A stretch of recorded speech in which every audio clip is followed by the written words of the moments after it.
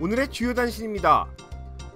플러튼 트로이 high school을 상대로 위협적인 메시지를 보낸 10대 여학생이 경찰에 체포됐습니다.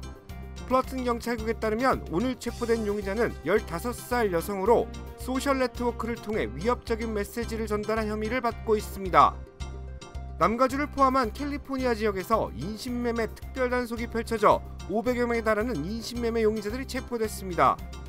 주 사법당국의 함정 수사로 진행된 이번 단속에서는 474명의 용의자들이 체포된 것으로 집계됐습니다. 연방정부의 자금이 다음 달 고갈될 것이라는 경고가 나왔습니다. 의회 예산국은 트럼프 행정부의 감세 조치 영향으로 당초 예상보다 빠르게 연방정부 자금이 바닥날 것이라고 분석했습니다. 의회 예산국은 이번 조치로 매달 최대 150억 달러의 세수가 줄어들고 있다고 밝혔습니다. 에릭 가세티 LA 시장이 오는 2020년 대권에 도전하기 위한 본격적인 움직임에 나섭니다. 에릭 가세티 시장은 지난해 11월 뉴욕타임즈와의 인터뷰를 통해 대선 출마 의지를 밝힌 바 있습니다. 에릭 가세티 시장은 오는 4일부터 인터넷 홈페이지를 통해 후원금 모금에 돌입합니다. 볼룸버그 통신은 연방 규제 당국이 가상화폐에 대한 단속 수위를 높여 일제히 급락세를 기록하고 있다고 전했습니다. 이는 월간 기준으로 가장 큰 낙폭을 기록한 것입니다. 날씨입니다. 남가주 지역은 구름 낀 흐린 날씨 예상됩니다.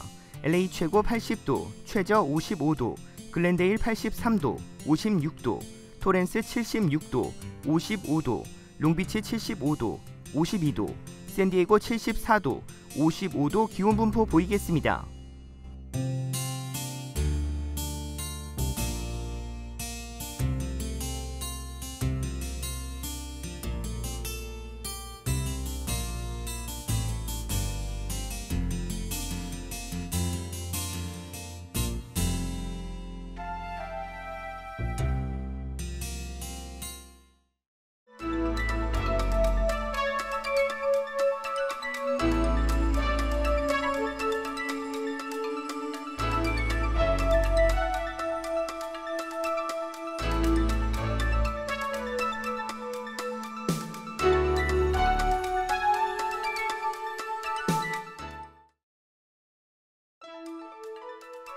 KBS 아메리칸 뉴스는 시청자들의 의견을 소중히 생각합니다. 이상으로 KBS 아메리칸 뉴스를 마칩니다. 고맙습니다.